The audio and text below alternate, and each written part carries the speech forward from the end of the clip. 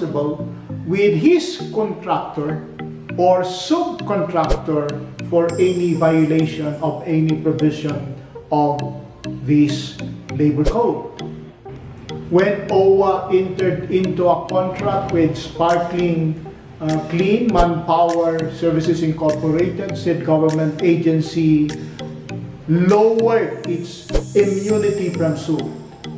If OWA can be sued and directed to pay salary differential to workers without budgetary appropriation,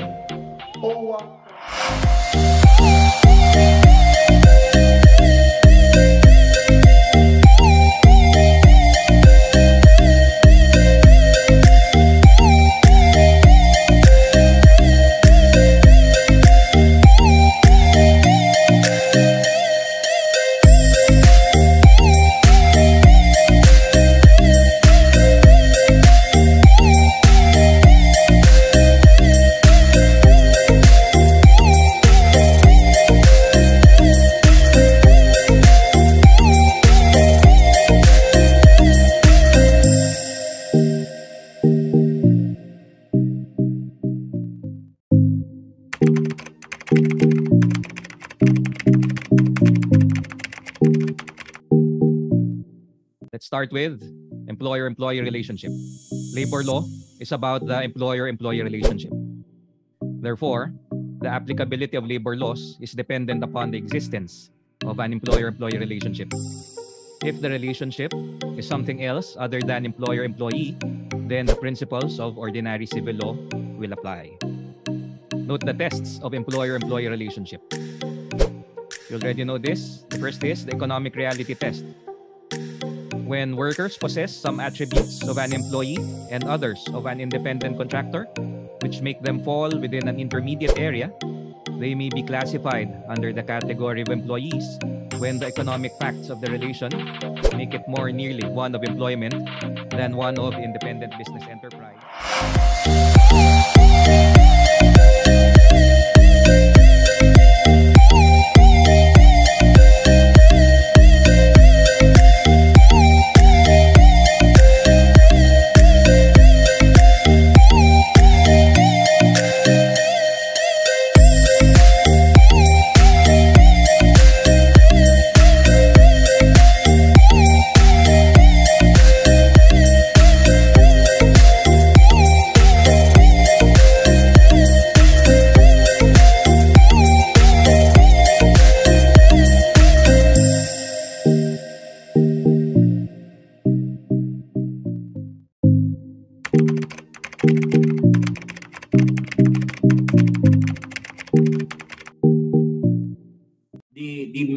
Of the parliament are also members of the cabinet.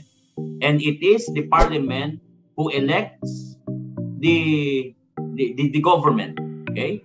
That is basically a parliamentary form of government. And if that is the case, you only have to change two articles. That is Article 6 and Article 7 of the Constitution.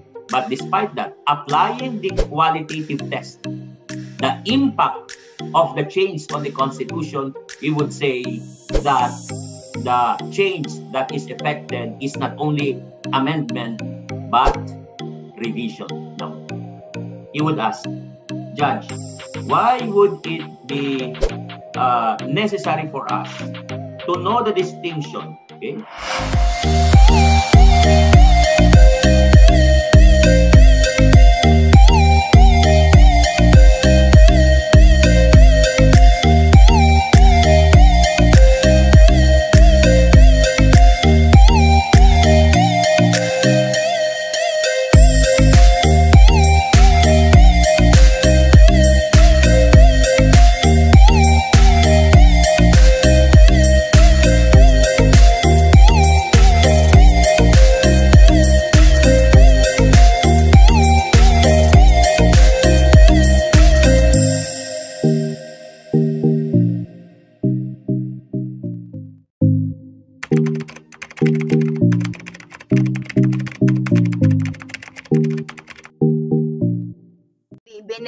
By the sale of that property.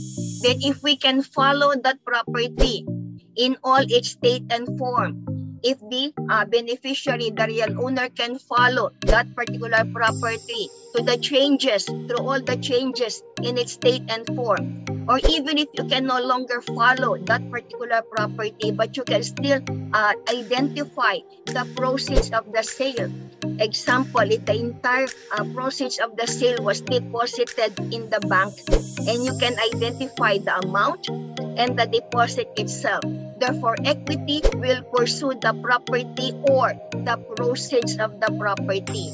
We can have restitution of the property to the beneficiary who is the real owner of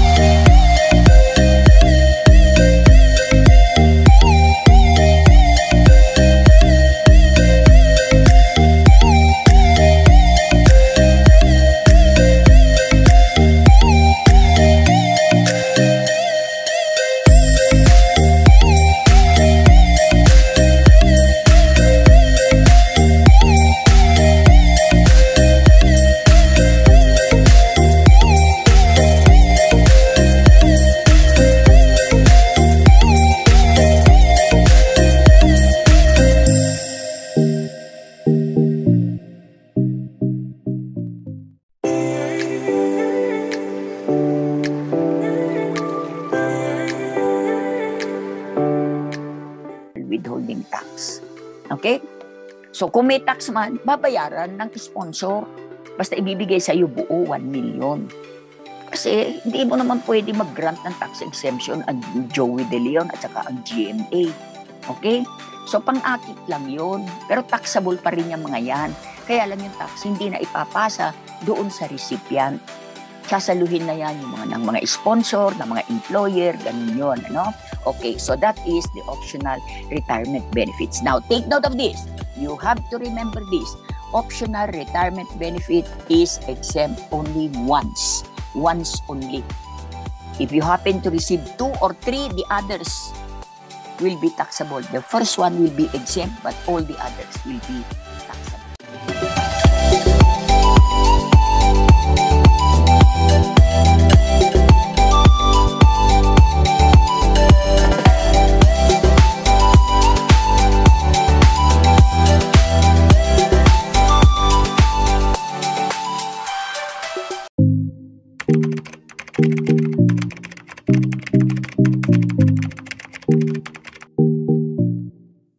every employer or indirect employer shall be held responsible with his contractor or subcontractor for any violation of any provision of this labor code.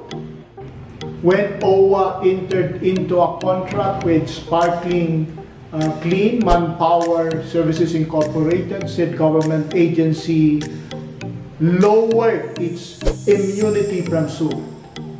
If OWA can be sued and directed to pay salary differential to workers without budgetary appropriation, OWA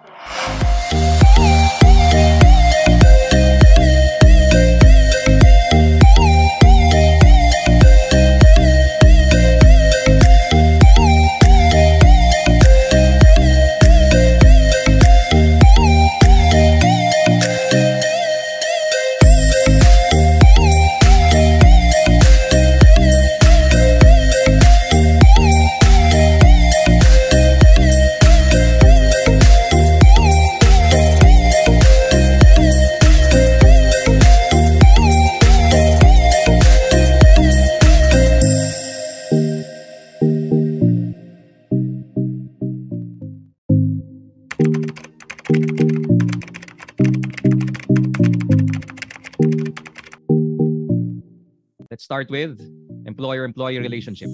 Labor law is about the employer-employee relationship. Therefore, the applicability of labor laws is dependent upon the existence of an employer-employee relationship. If the relationship is something else other than employer-employee, then the principles of ordinary civil law will apply. Note the tests of employer-employee relationship. You already know this. The first is the economic reality test. When workers possess some attributes of an employee and others of an independent contractor, which make them fall within an intermediate area, they may be classified under the category of employees when the economic facts of the relation make it more nearly one of employment than one of independent business enterprise.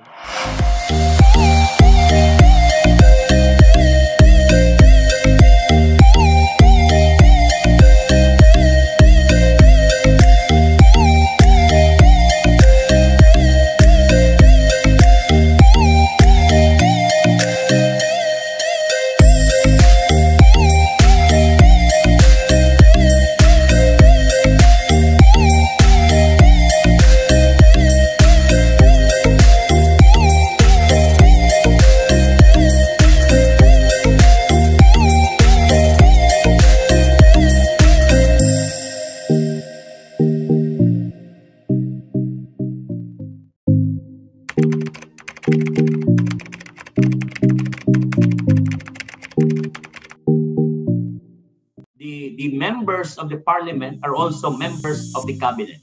And it is the parliament who elects the, the, the, the government. Okay? That is basically a parliamentary form of government. And if that is the case, you only have to change two articles. That is Article 6 and Article 7 of the Constitution. But despite that, applying the qualitative test, the impact of the change on the Constitution, we would say that the change that is effected is not only amendment but revision. No. You would ask, Judge, why would it be uh, necessary for us to know the distinction? Okay?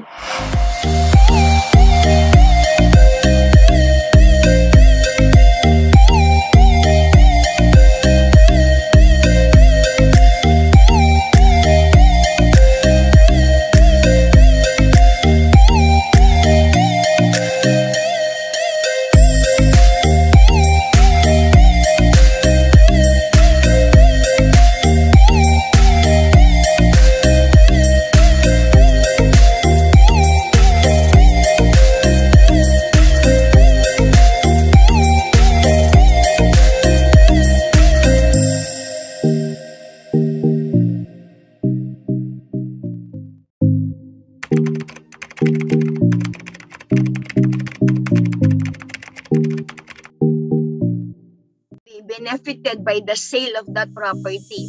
Then if we can follow that property in all its state and form, if the uh, beneficiary, the real owner can follow that particular property to the changes, through all the changes in its state and form, or even if you can no longer follow that particular property, but you can still uh, identify the proceeds of the sale. Example, if the entire uh, proceeds of the sale was deposited in the bank and you can identify the amount and the deposit itself. Therefore, equity will pursue the property or the proceeds of the property. We can have restitution of the property to the beneficiary who is the real owner of withholding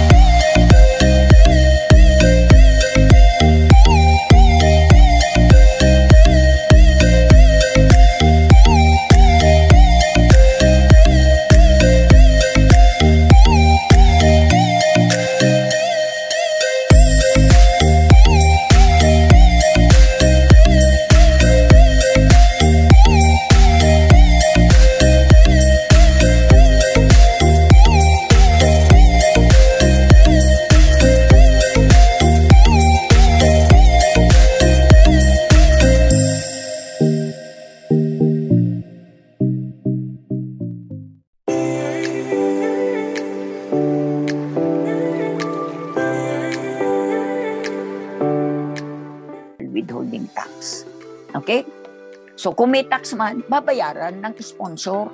Basta ibibigay sa iyo buo 1 million. Kasi hindi mo naman pwede mag-grant ng tax exemption ang Joey De Leon at saka ang GMA. Okay?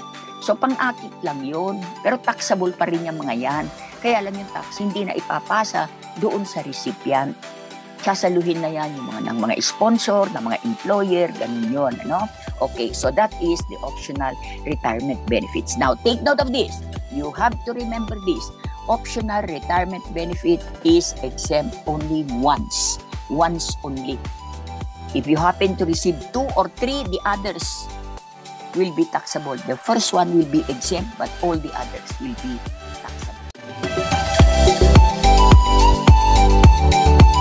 to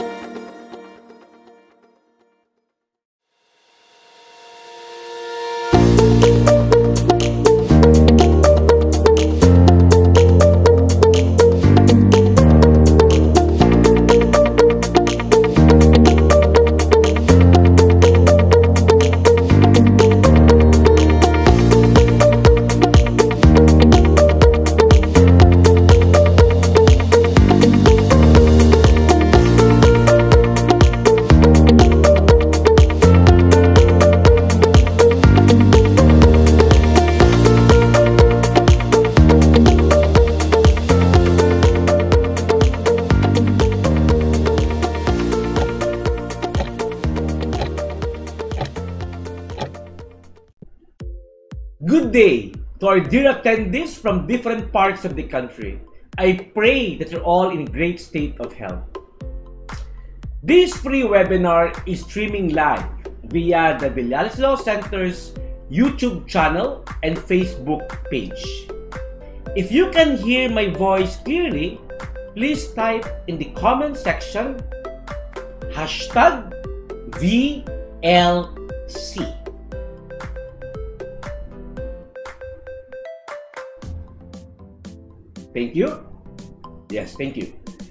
Optimize this learning opportunity. Share this free online lecture to your friends and together learn at the comfort of your homes. I want to formally welcome you all to this free webinar. This is part of a series of free online lectures brought to you by the Virtual Law Companion of Villasis Law Center. Allow me to share to you this good news.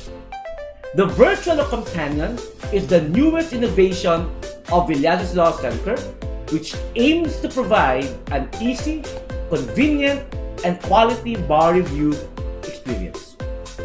The Virtual Companion is a web application that is hosted on a dedicated cloud server. It can be accessed via the internet 24 7 for any web browser using any device or handheld computers like Android or iOS phones. Meaning, you can study anytime, anywhere, and from any mobile device. Please visit our website at www.villasislawcenter.com to know more about our programs and activities. Before we formally start, please take note of some reminders. First, this free webinar is pre-recorded to ensure the uninterrupted streaming of lectures. Secondly, VLC team will be with you to assist you should you need more information about our program. Please visit and subscribe to our YouTube channel and Facebook page. Without further ado, please give your virtual claps and welcome our lecturer today. Again, this free webinar is brought to you by Virtual Law Companion. Maraming salamat po. Together, we can make things happen. Together, we can.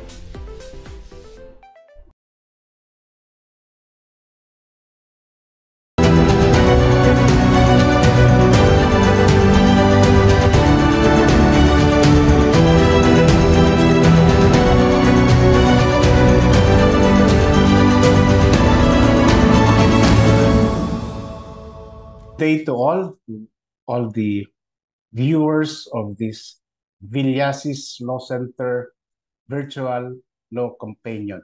This is Fiscal Fred Nojara. I will be uh, lecturing on the updates of updates in criminal law. Okay, so uh, as uh,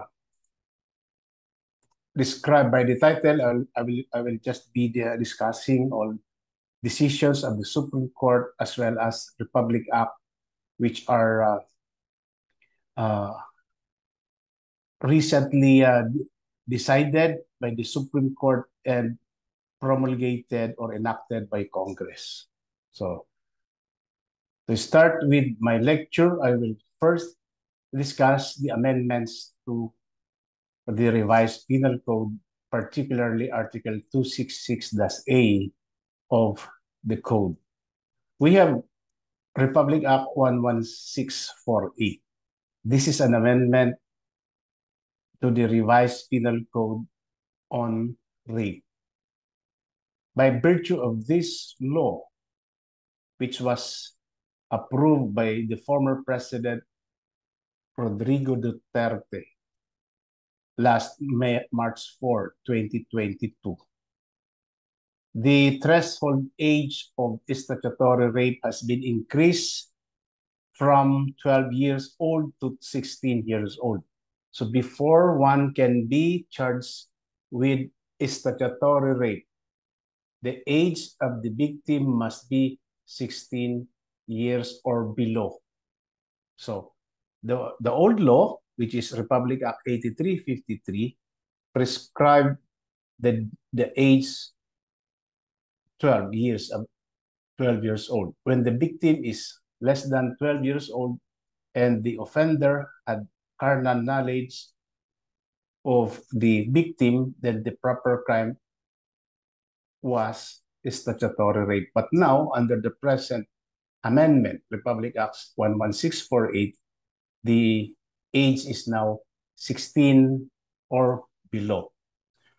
Now, before we can, uh, under the amendment, there is an exception to the rule, meaning even if the uh, victim is less than 16, it is not automatic that the proper crime is statutory because it requires the following requisites to be present.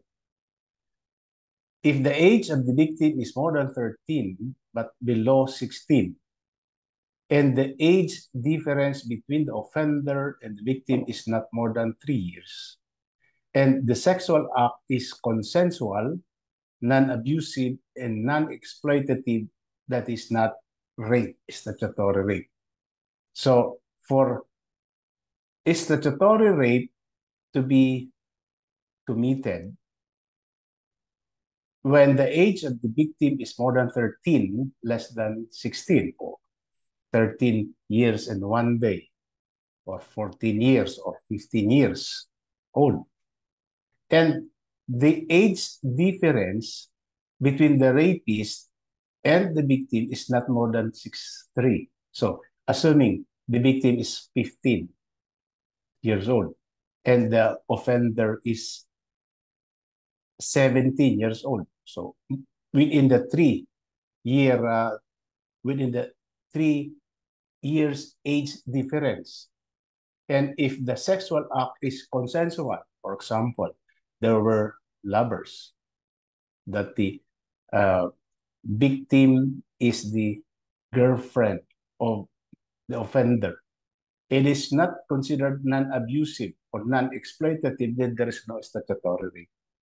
So if uh, those requisites are present, there is no statutory rape. Now, what is non-abusive, non-exploitative sexual act? The law defines non-abusive means the absence of undue influence, intimidation, fraudulent machinations, coercion, threat, physical, sexual, psychological, or mental injury or maltreatment. Non-exploitative means there is no actual or attempted act of unfairly taking advantage of the minor's position of vulnerability.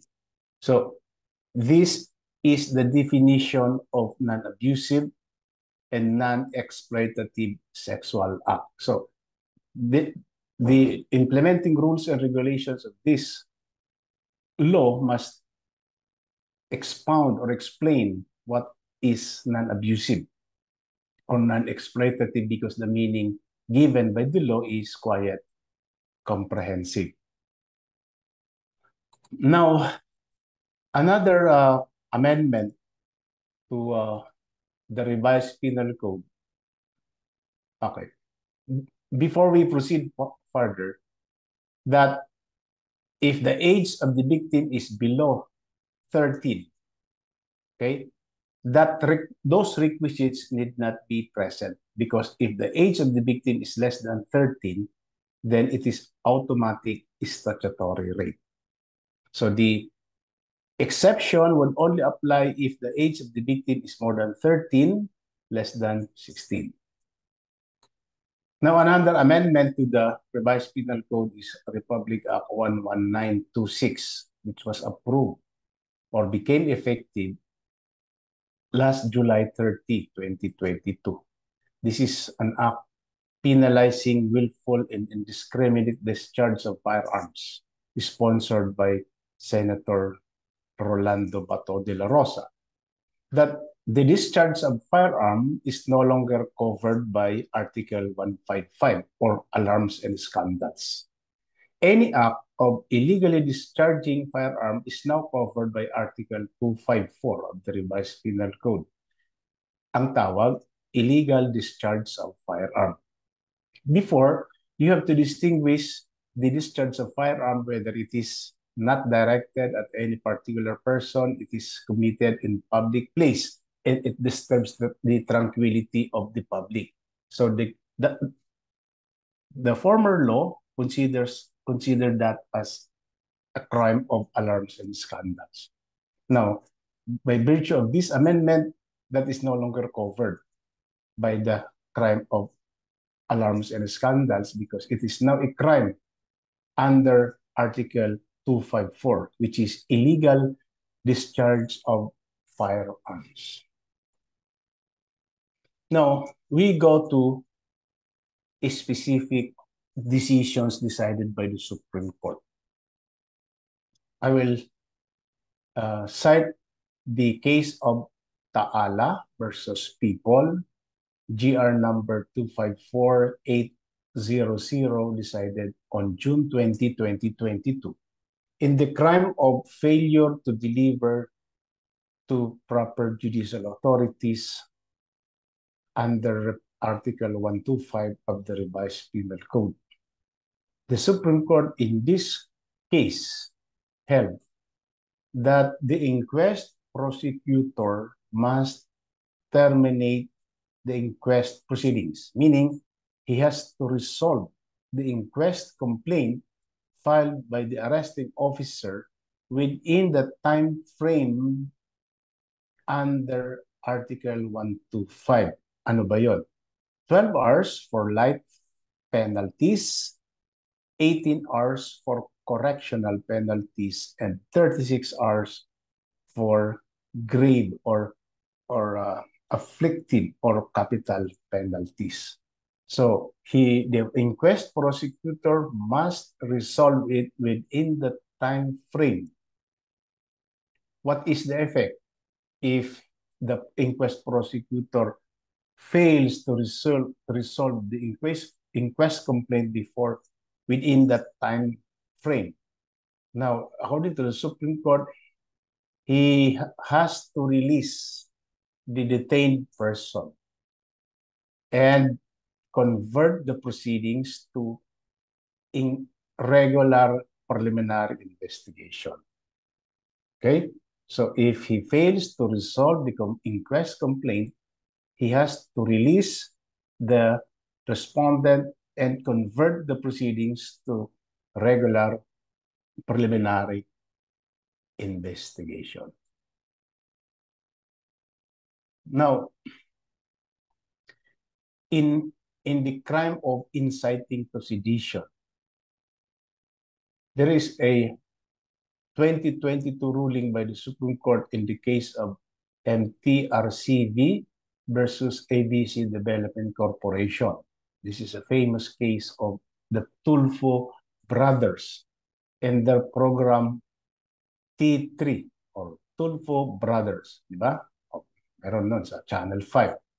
Remember that case involving the uh, their brother uh, Mon Tulfo and uh, uh, Raymart Santiago.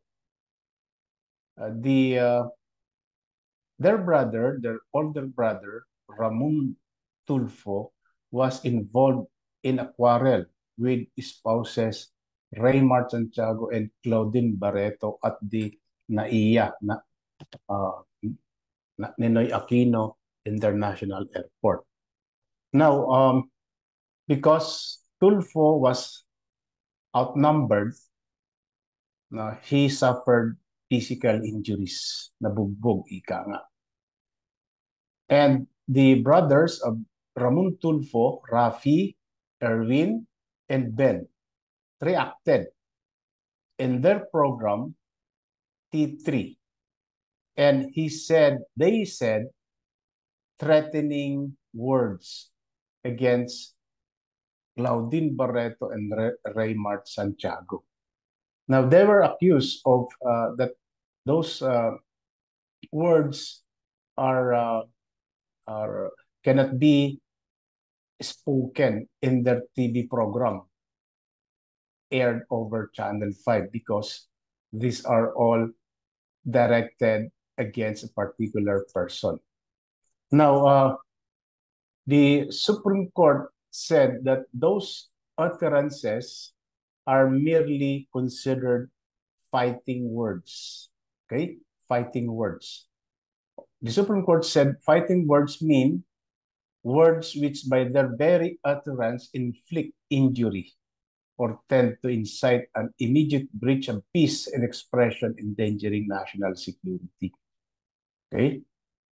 Fighting words are seditious if those utterances would incite an immediate breach of peace and expression to endanger national security. The, the, the words uttered by the Tulfo brothers are not seditious. They can they are protected, part of the protected speech, meaning no action can be brought against the Tulfo brother because they were just expressing their sentiments, being the brother of Ramon Tulfo. Although those words are profane and vulgar, they are still protected, meaning they are within their freedom of the, the, their freedom of speech and expression. So that those cannot be censored. So it cannot be those cannot be considered as inciting to sedition. Kasi uh, if those words would incite others to uh, disturb the tranquility of the public. Now, another case, which is uh, a very interesting case, it uh, involves the crime of usurpation of official functions under Article 177 of the Revised Penal Code. Now, in the case of Legaspi Jr. versus People, GR number 241986, August 22, 2022, that there is a crime of usurpation of official function if the concerned public officer performs a function relative to his office when that public officer is serving or, or under suspension. Legaspi was a mayor in a certain municipality of Bulacan. He was suspended by the ombudsman in connection with his act of transferring one municipal officer. That municipal officer accused the mayor of grave abuse of authority before the ombudsman. And the ombudsman acting on the complaint suspended the municipal mayor. The suspension order was served by the DILG, but it was received by the secretary of the mayor. So despite receipt of the suspension order, the municipal mayor, Mayor Legaspi, continued with, with his function as a municipal mayor. He was still discharging his duties, and one of them is to solemnize marriage. He solemnized several marriages because he is authorized under the local government code to solemnize marriage. But even if he was under suspension, he continued to solemnize marriage. The Supreme Court said that he is guilty of usurpation of official functions because these acts of solemnizing marriage were performed under the pretense of official functions, giving the appearance that he still had the authority to solemnize marriage even if he, he was precluded because of his suspension from office. Now, in the crime of knowingly rendering unjust judgment, under Article 204 of the Revised Penal Code. The Supreme Court in the case of Go versus Judge Algodon decided on December 7, 2022. The judge may not be accused criminally or administratively when he reversed his own order or when he vacated his earlier ruling directing the conduct of reinvestigation. So, assuming there is an order um, which was vacated by him in subsequent order, that is not an indication or a ground that he can be accused of administrative or criminal case for knowingly rendering unjust judgment. Okay, so that is not a crime. In the crime of grave threats under Article 282, there is one good case decided by the Supreme Court on March 16, 2022. Then the title of the case is Garma versus People, GR number 248317. There were um, the accused here there were two accused who were twins. They were chasing a group of persons who stole fish from their fish fund. Now, while they were chasing the thieves, they passed by a group of persons who were working in a rice field. Now, the accused asked those farmers whether they knew uh, a certain barangay captain.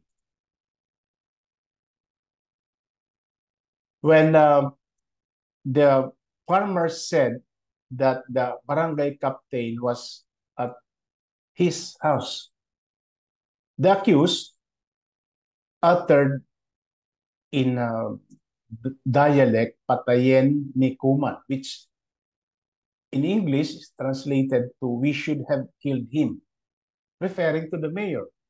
So the accused uttered that we should have killed him. Parang in Tagalog, papatayin namin siya. Sana pinatay na namin siya. Okay. Because of that, Garma et al. were charged with grave threats for threatening to kill the barangay captain. Now, the Supreme Court said they did not commit the crime of grave threats under Article 282 because there, in order to constitute the crime of grave threats, that the offender or the accused must have intended to carry into effect their threats. Okay? So the Supreme Court said that the Garma et al. did not intend to deliberately utter the words or the threats. The court explained that even the victim, the barangay captain, was not even sure if he was threatened at all, much less if the accused intended by the words they had spoken to really intimidate him. There is there was no crime of grave threats because as far as the utterance of the threat is concerned, the accused did not deliberately make such a threat. So in order to constitute grave threats, the accused must have intended to make good of his threat and that is absent in this case of Garma versus people. Very good case. now, um, we go to Article 310 of the Revised Penal Code, the crime of qualified theft. In August 2022, the Supreme Court in the case of People versus Terrado, GR number 231387 held that in the kitchen supervisor who is working in a restaurant who was entrusted with the password used for point and sale transaction.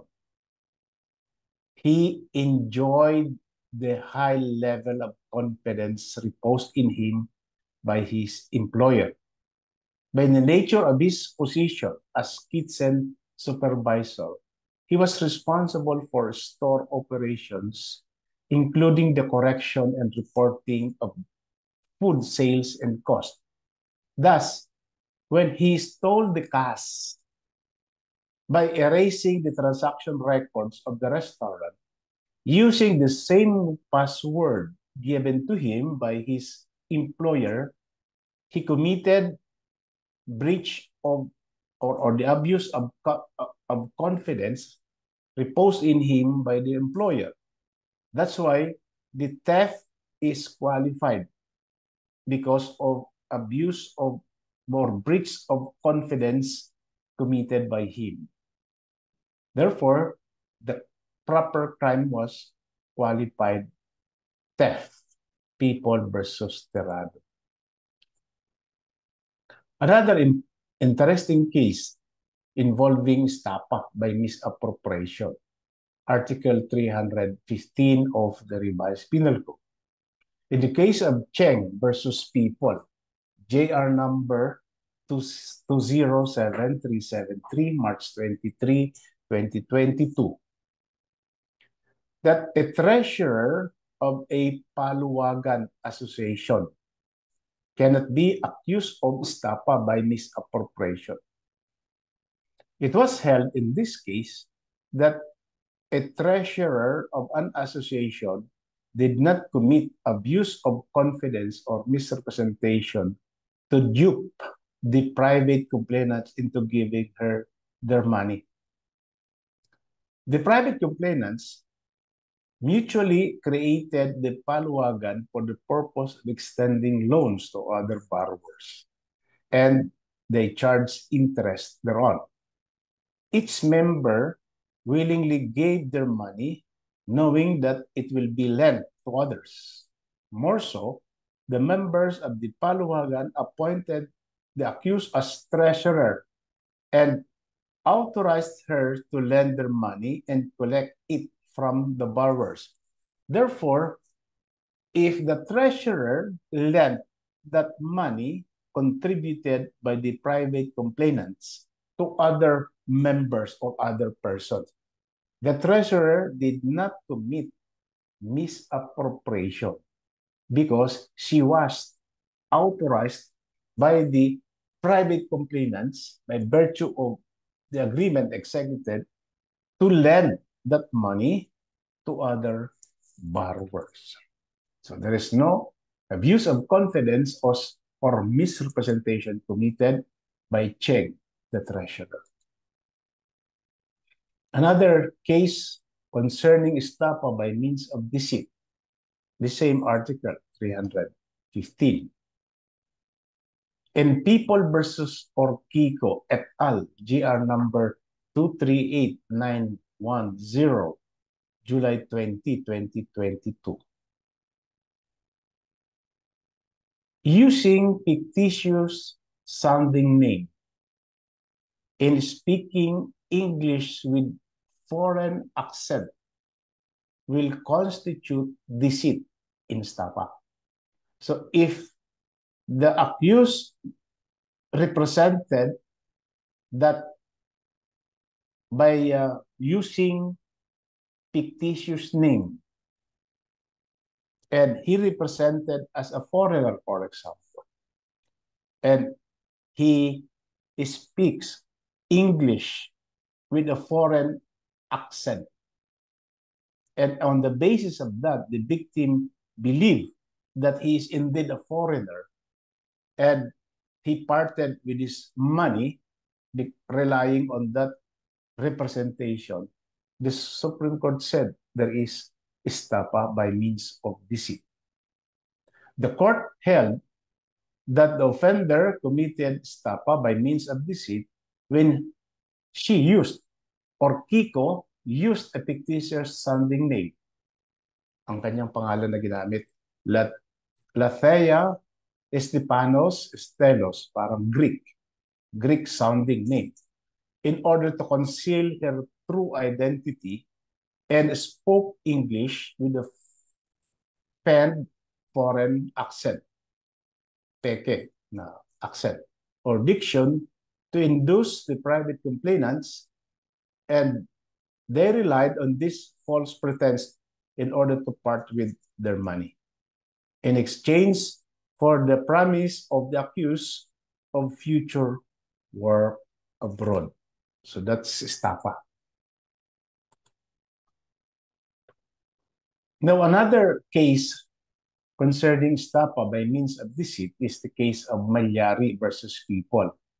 GR number 249-374, June 22, 2002.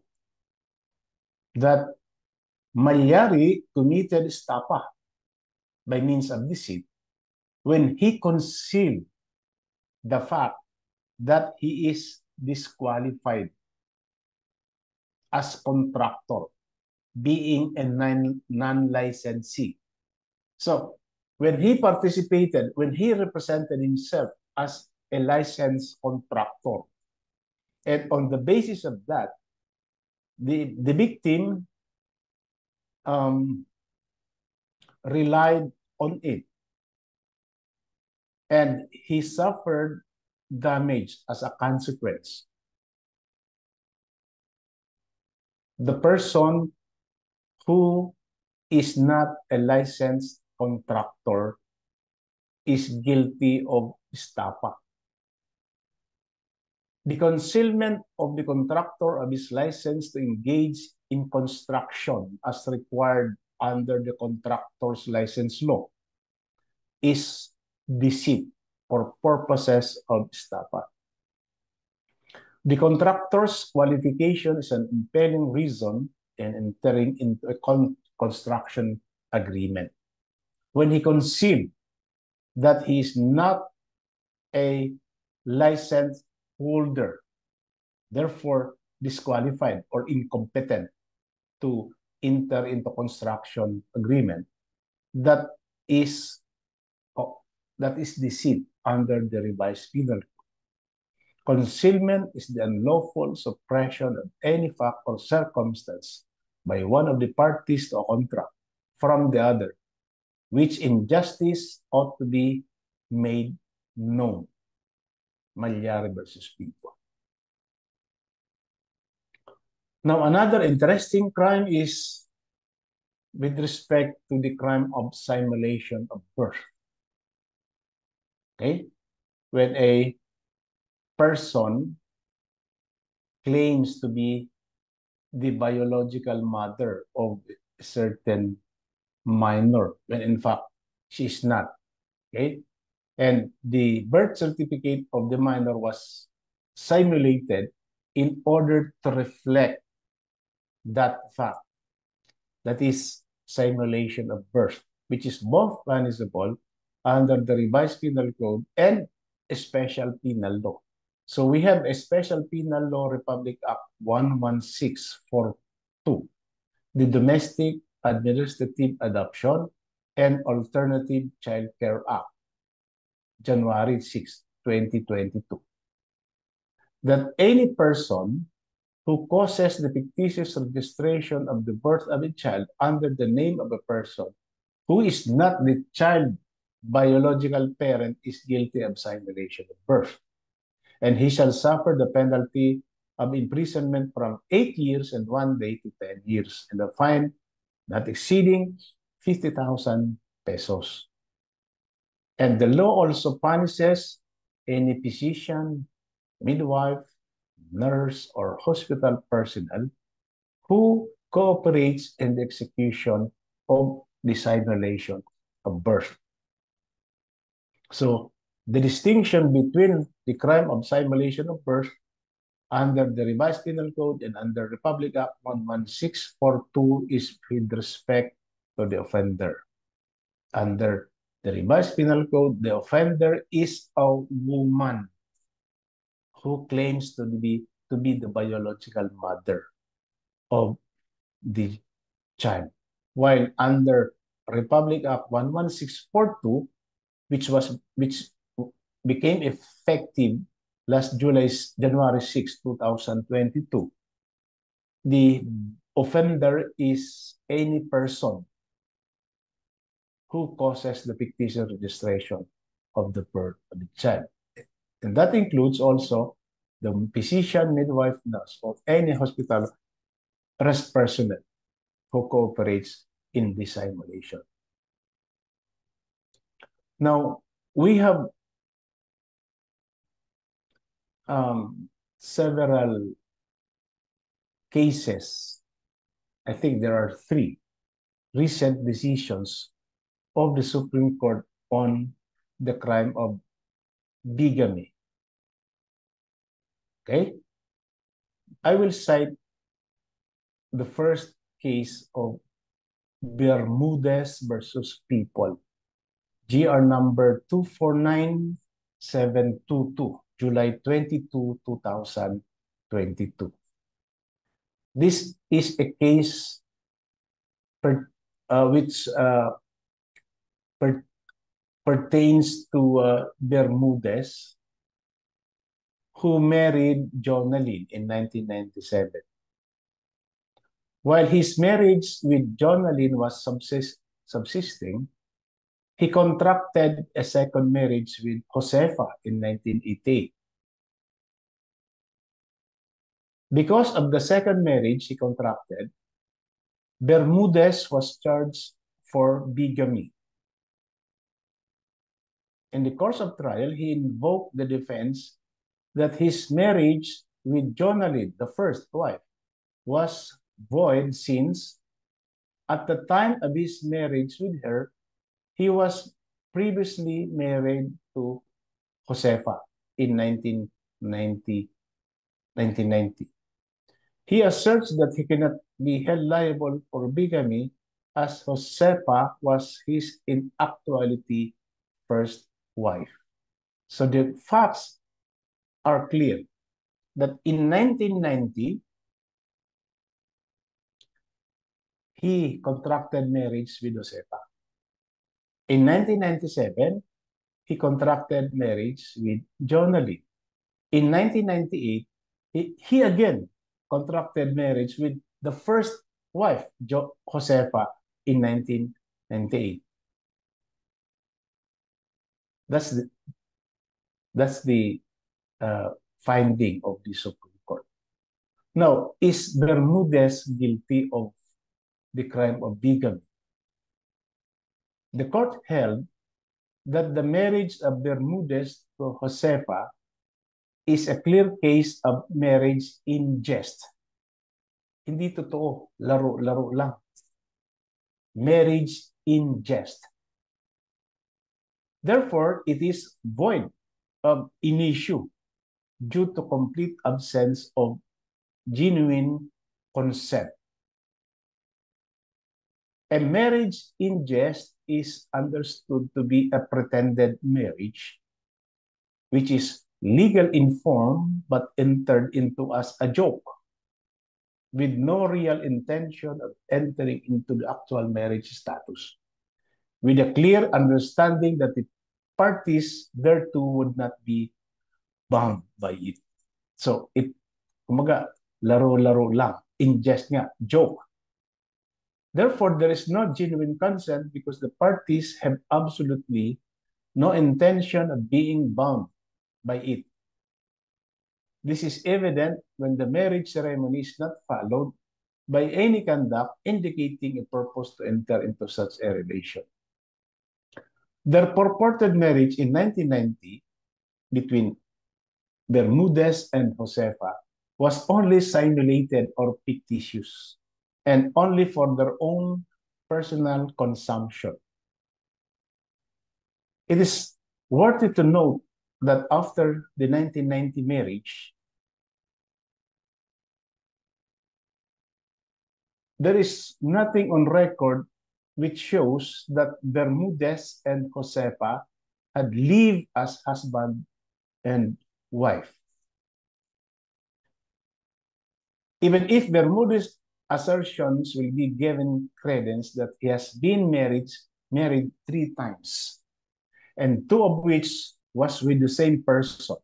One in 1990 with Josefa, Sec second with John Nalin in 1997, and third with Josefa again in 1998.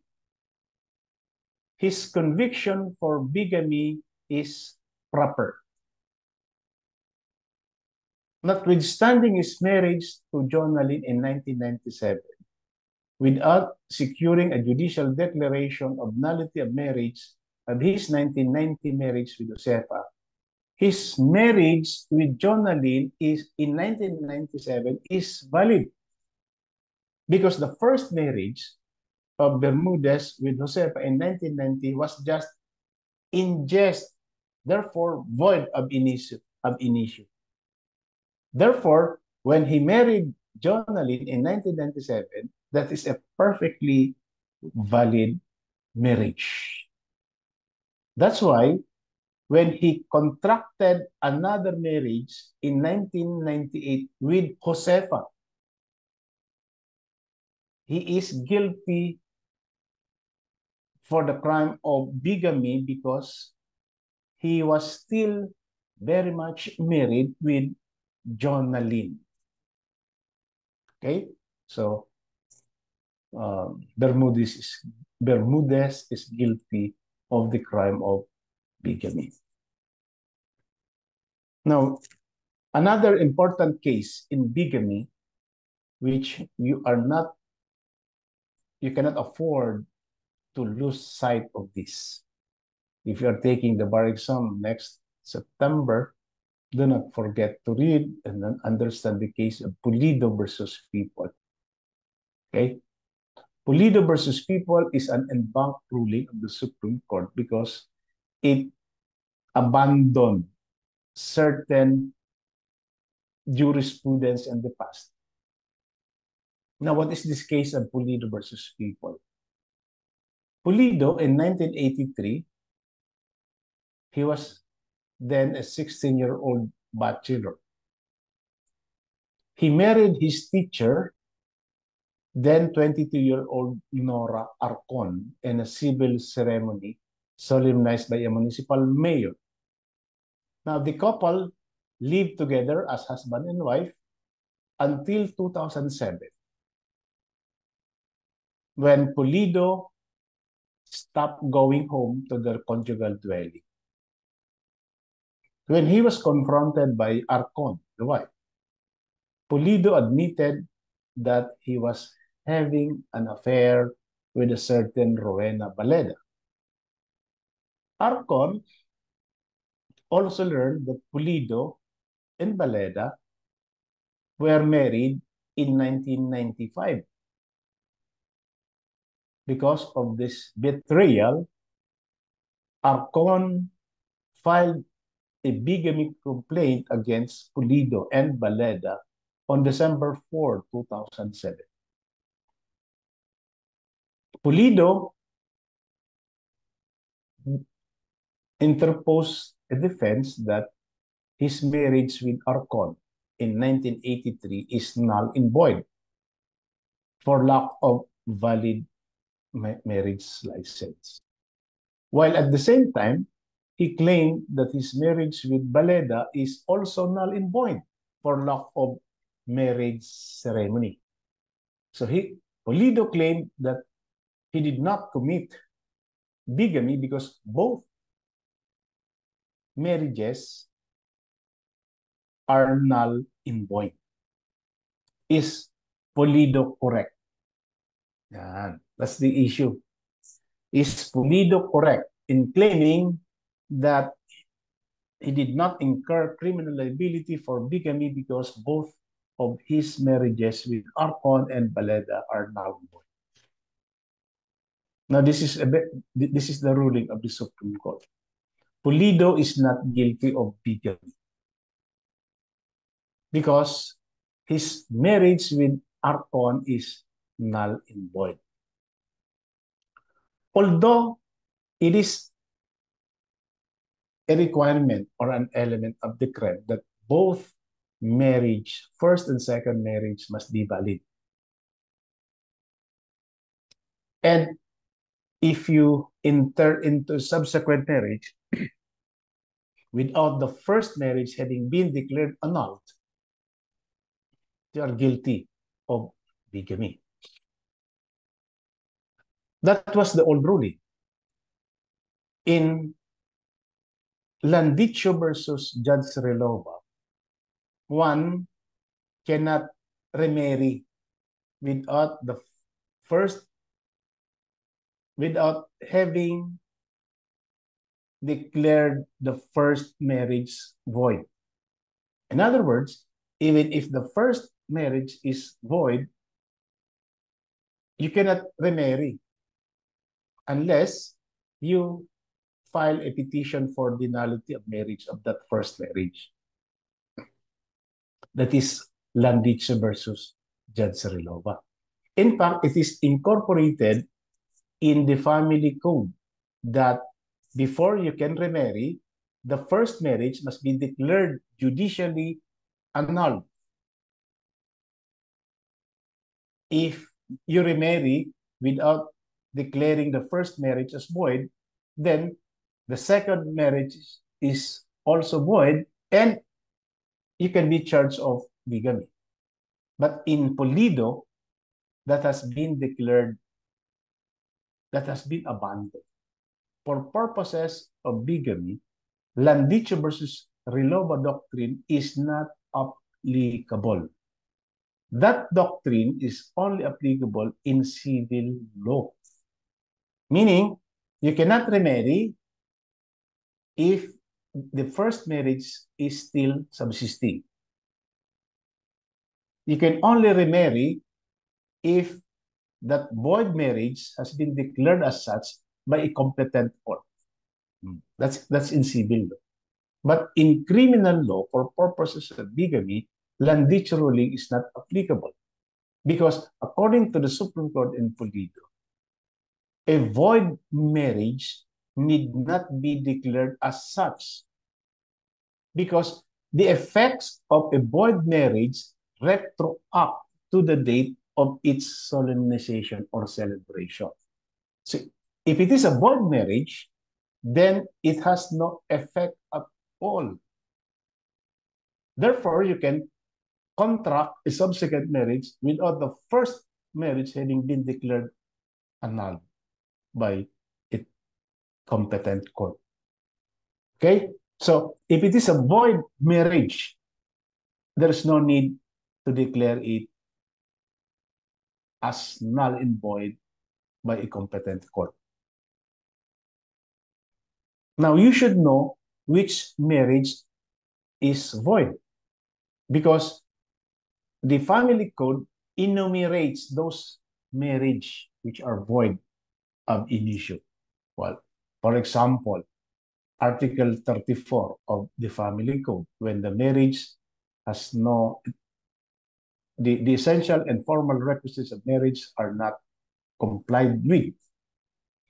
Article 35, Article 36 for psychological incapacity. So, Article um, incestuous marriages. So there are there are several kinds of void marriages under the family code. If it is one of them, if the family code says it is void, then there's no need to declare it. Judicially declared it. And if you contract subsequent marriage without a judicial declaration of the first marriage as null and void, there is no crime of bigamy. However, if the marriage is only voidable, voidable, meaning valid until annulled, and you contract a subsequent marriage without the first marriage having been declared annulled, then there is a crime of bigamy pursuant to this Pulido doctrine. Napaka-important ito because the Supreme Court had made it clear that there is no need to, de- to judicially declare the first marriage as void.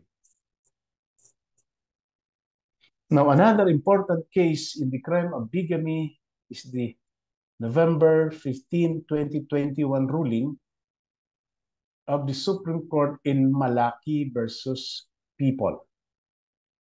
This case involves the uh, accused Malaki, who was a former Christian and converted his religion to Islam in order to escape criminal liability for bigamy. He was previously married married to a certain woman. And without the first marriage having been dissolved, Malaki converted to Islam in order to marry another woman. Now, you know, under PD, uh, under the Muslim Code of the Philippines, being a law of preferential application. A Muslim, a male Muslim, may contract several marriages. In fact, up to four marriages without having without the risk of having charged with the crime of bigamy because the Muslim code allows such marriages. Now, in order to invoke that provision of the Muslim code, Malaki thought that he would escape criminal liability by converting to Islam. Now, is the act of converting to Islam enough in order to contract subsequent marriage? That's the issue here in Malaki versus people. The Supreme Court did not sustain his argument. The Supreme Court affirmed his conviction for bigamy, saying that converting to Islam to marry another individual on top of a previously civilly married spouse does not spare someone from being charged with bigamy. A party to a civil marriage who converts to Islam and contracts another marriage, despite the first marriage subsistence, is guilty of bigamy. Likewise, guilty is the spouse o yung babae, the wife, the second wife of Malaki, in the subsequent marriage. Conversion to Islam does not operate to ex exculpate them from criminal liability. Thus, in a case, the failure of the accused to comply with the requisites under the Muslim code betrays his invocation of Islamic law. Here in Malaki, failed to prove that he complied with the with the mandate of the Sharia law. What is that? Under the Sharia law, if a Muslim husband wishes to contract another marriage with another man, woman, I'm sorry, he has to get the consent of the first wife. So if the wife agrees, then there, there will be no problem. But if the wife does not give her consent to the subsequent marriage, and the instinct of a woman, syempre, is not to agree or to give her consent. The Muslim male must file a written notice to the clerk of court of the Sharia circuit trial court of the place where his where his family resides. Then the clerk of court, upon receipt of the notice filed by the petitioner, the clerk of court will serve a notice or a copy thereof to the wife or wives. And if the ob wife objects, then the matter will be referred to Agama Arbitration Council. The council will try to convince the wife to agree on the uh, desire of the her husband to contract subsequent marriage. Now, if the the council fails to obtain the wife's the wife's consent, then the court, the, the Sharia court, shall decide whether or not to sustain her objection. If the court ignores the uh, objection of the first wife, then the man will be able to marry another woman. Okay, so it's the court who will that which will decide whether the man desiring to contract another marriage will can marry for subsequent marriage. So if the if the court does not agree or does not give her his the, the authority, then the male person, male Muslim cannot contract subsequent marriage. So it's it is up to the court to determine whether the the man can marry or not. Now, ito yung naging problema ni Malaki because Malaki did not observe all these requisites under the Sharia law. All he had done was merely to convert to Muslim. And after converting to Muslim, he contracted another marriage. According to the Supreme Court, in this case, Malaki is guilty of bigamy. Now, um, with respect to Article 365 or the quasi-offense or the negligence, crime of negligence, you should be able to read this Morales versus People, GR number 240337, decided by the Supreme Court on January 4, 2022. This is en banc you should be able to read and understand this case because it is a landmark case. This case abandoned the another in-bank case, yung De Los Santos case. Okay? Yung De Los Santos case, uh, also an en-bank, the Supreme Court held that Article 365 is a mere modality of committing a crime. So, as a as a means as, as as just a modality of committing a crime, it can be complex. Meaning, if one is negligent, for example, A was driving his vehicle, he bumped a motorcycle, and the motorcycle rider was injured, and the motorcycle was damaged. So in effect, there are two resulting crimes. Reckless imprudence resulting in serious physical injuries and reckless imprudence resulting in damage to property. The offender could be charged with two crimes. Hmm. Since Article 365 is just a modality of committing a crime. But that decision has been reversed first in 2011 by the Supreme Court in Ivler versus Judge Modesto, San Pedro. It was an, a, a division decision which cannot um, repeal or supersede an en banc decision in De Los Santos. In, in either case, the Supreme Court said that Article 365 is a crime itself. It is not a modality of committing a crime.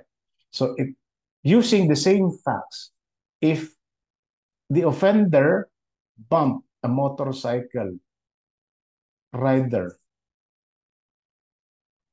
there will be only one crime that can be filed against him, and that is negligence. So the, the resulting two crimes,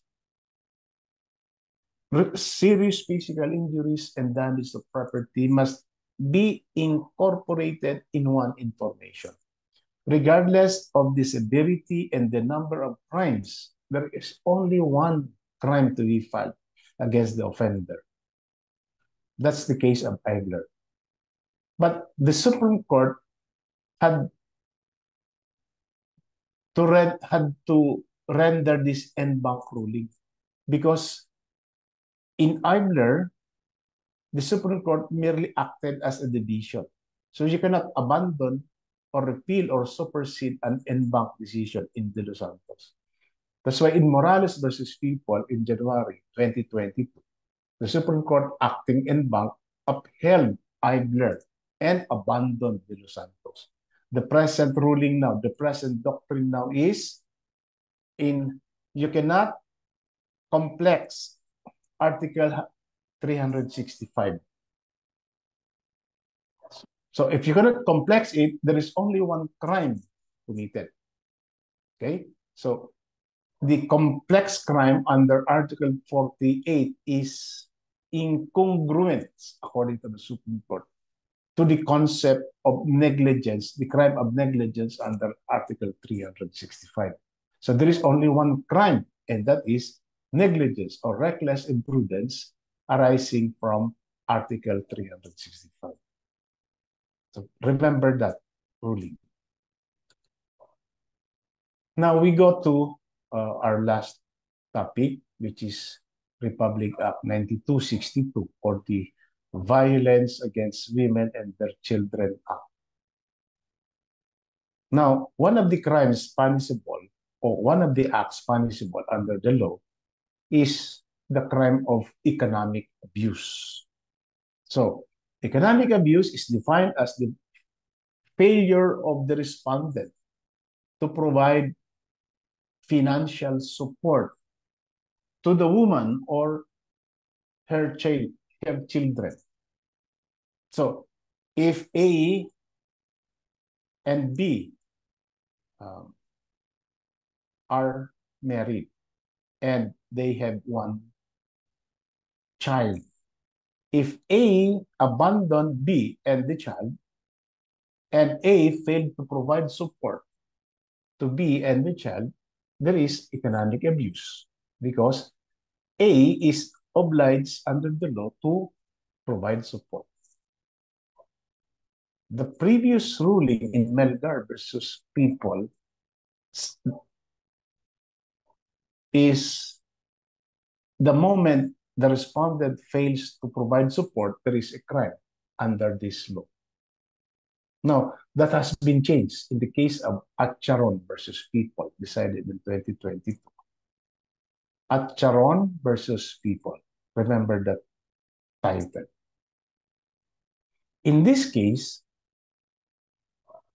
the, the mere failure or inability to provide financial support is not punishable by Republic Act 9262 it cannot even constitute either a psychological violence or economic abuse because inability failure to support according to Melgar versus Ruby may constitute psychological violence if because of the non-support the victim suffered mental anguish or emotional suffering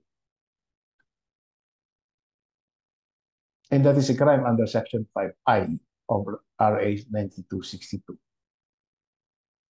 In order to constitute as a crime of psychological violence for non-support. The Supreme Court said that the prosecution must present evidence to prove that the accused intended to cause the victim to suffer mental or emotional anguish or public ridicule or humiliation through the denial of financial support. Okay, so what is required in order to constitute psychological violence?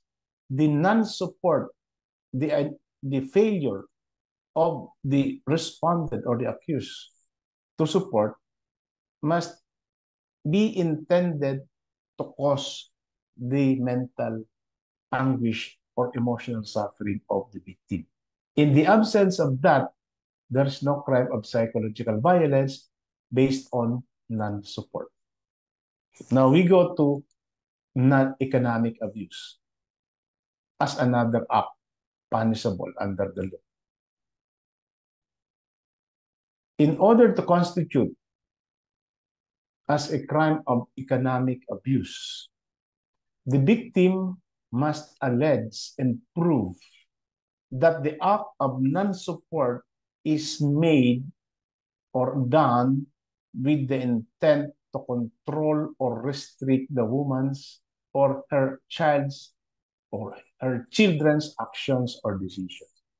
So, economic abuse is now a crime mala in se. What is mala in se? Mala in se requires intent in order to be considered as a crime. Without the intent, there is no crime. So as far as economic abuse is concerned, the victim must prove that the non-support, the act of non-support is intended to control her or her actions. So the mere allegation that the accused is not supporting her is not a crime. What was the basis? The Supreme Court explained that the mere inability to support is not a crime because poverty is not a crime. So if the accused has no means to provide support, the victim cannot force him to support her because being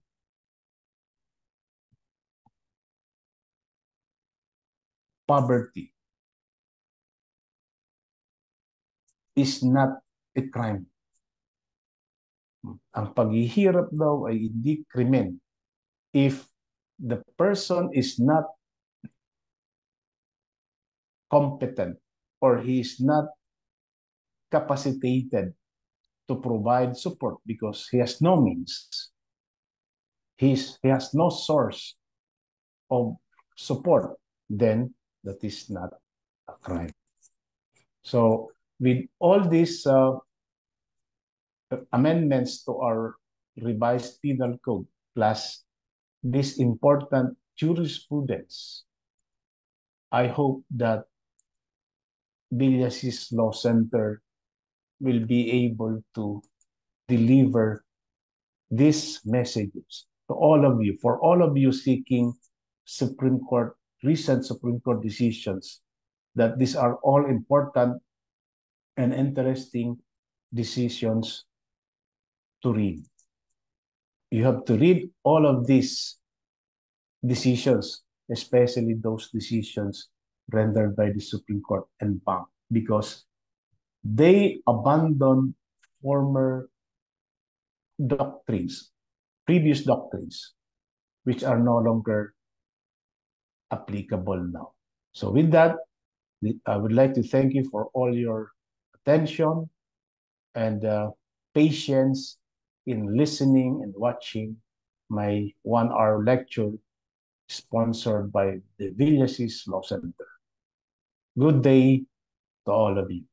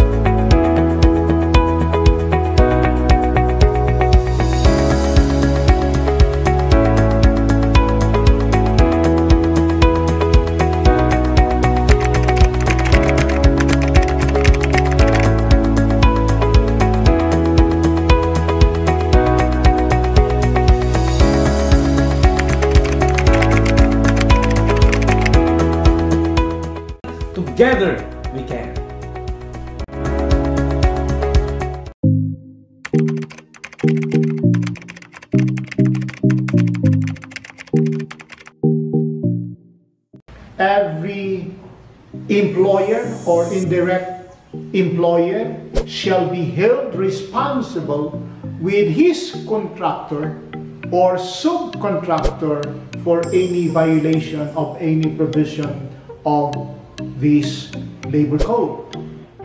When OWA entered into a contract with Sparkling uh, Clean Manpower Services Incorporated, said government agency lowered its immunity from suit. If OWA can be sued and directed to pay salary differential to workers without budgetary appropriation, OWA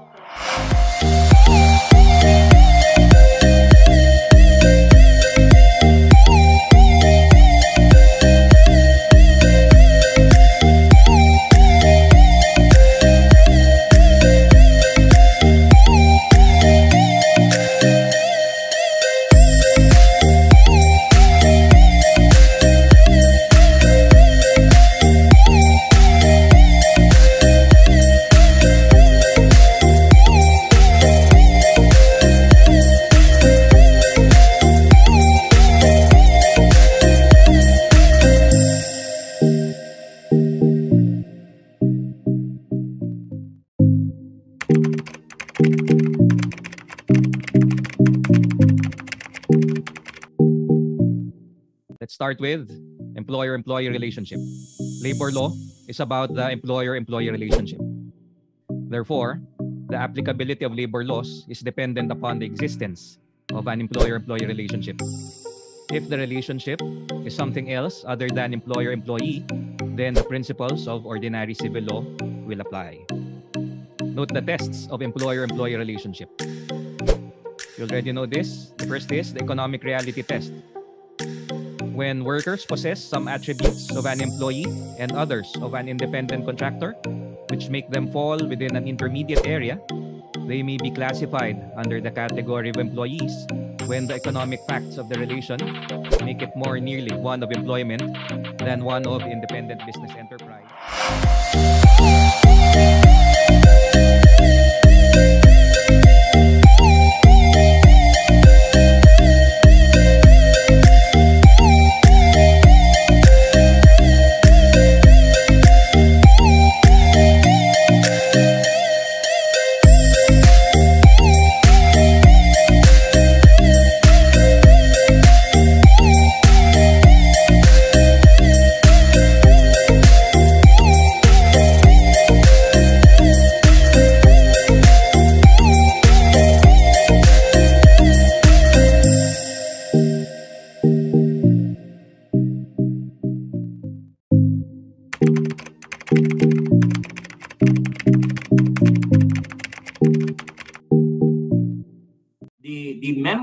The parliament are also members of the cabinet.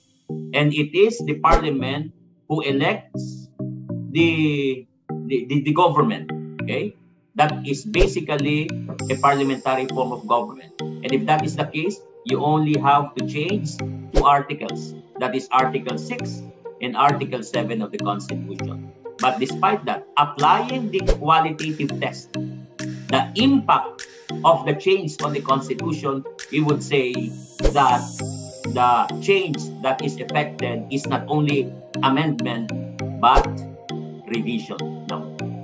You would ask, Judge, why would it be uh, necessary for us to know the distinction? Okay?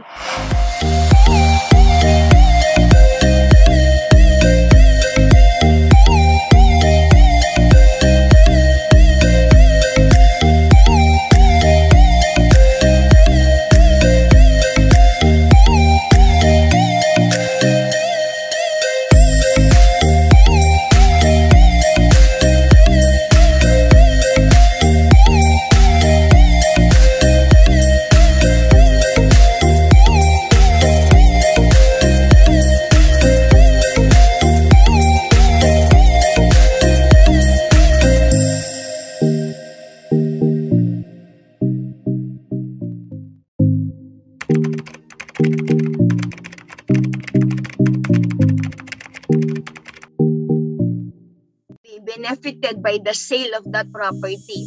Then if we can follow that property in all its state and form, if the uh, beneficiary, the real owner can follow that particular property to the changes, through all the changes in its state and form, or even if you can no longer follow that particular property, but you can still uh, identify the proceeds of the sale.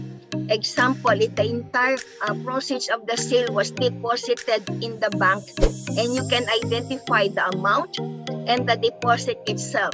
Therefore, equity will pursue the property or the proceeds of the property. We can have restitution of the property to the beneficiary who is the real owner of withholding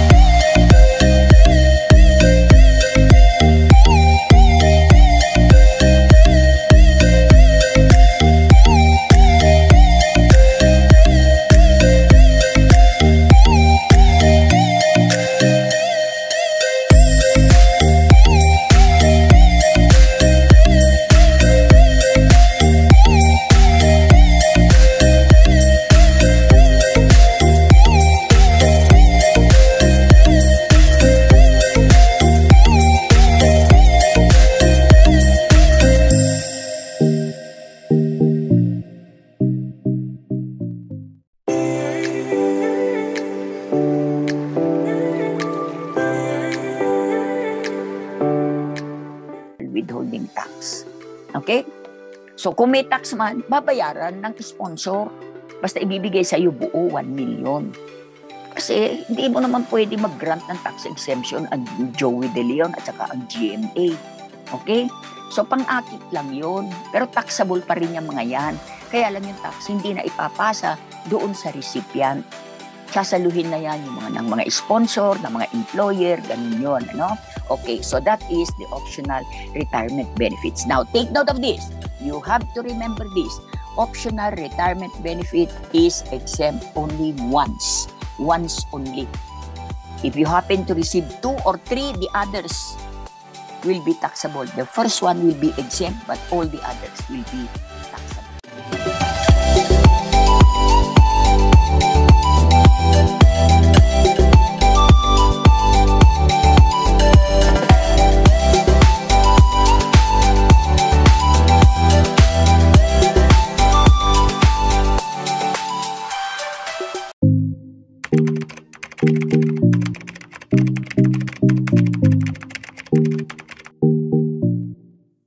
every employer or indirect employer shall be held responsible with his contractor or subcontractor for any violation of any provision of this labor code. When OWA entered into a contract with Sparkling uh, Clean Manpower Services Incorporated, said government agency lowered its immunity from suit. If OWA can be sued and directed to pay salary differential to workers without budgetary appropriation, OWA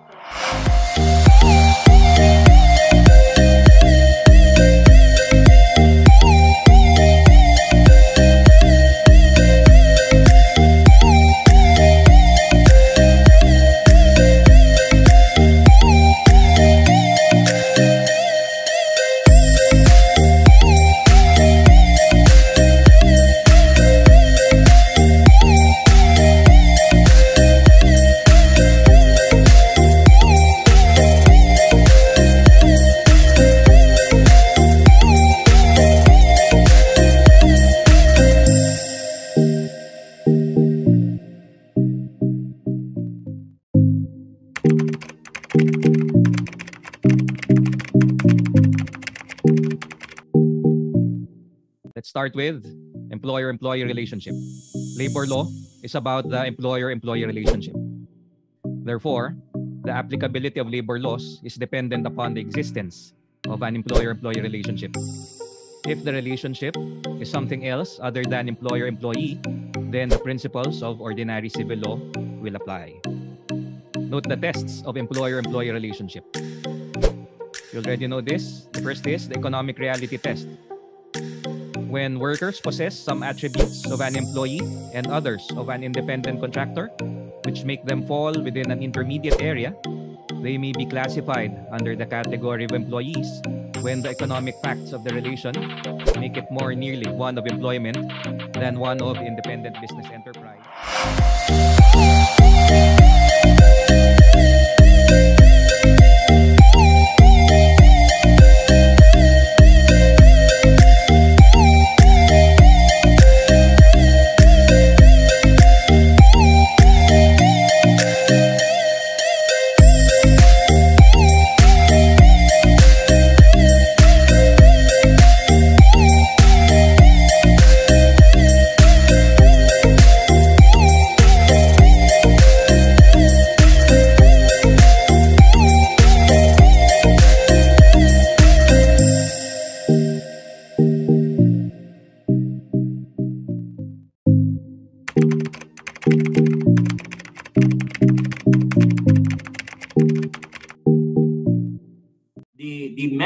Of the parliament are also members of the cabinet. And it is the parliament who elects the, the, the, the government. Okay? That is basically a parliamentary form of government. And if that is the case, you only have to change two articles. That is Article 6 and Article 7 of the Constitution. But despite that, applying the qualitative test, the impact of the change on the Constitution, we would say that the change that is effected is not only amendment but revision. Now, you would ask, Judge, why would it be uh, necessary for us to know the distinction? Okay?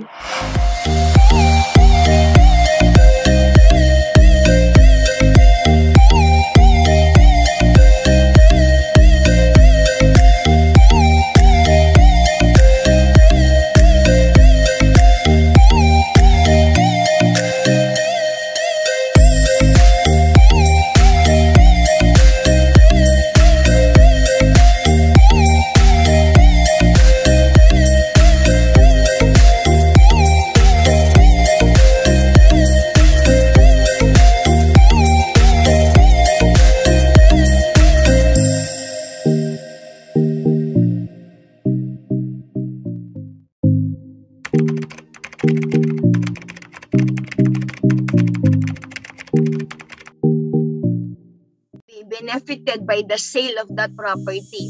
Then if we can follow that property in all its state and form, if the uh, beneficiary, the real owner can follow that particular property to the changes, through all the changes in its state and form, or even if you can no longer follow that particular property, but you can still uh, identify the proceeds of the sale. Example, if the entire uh, proceeds of the sale was deposited in the bank and you can identify the amount and the deposit itself. Therefore, equity will pursue the property or the proceeds of the property. We can have restitution of the property to the beneficiary who is the real owner of tax.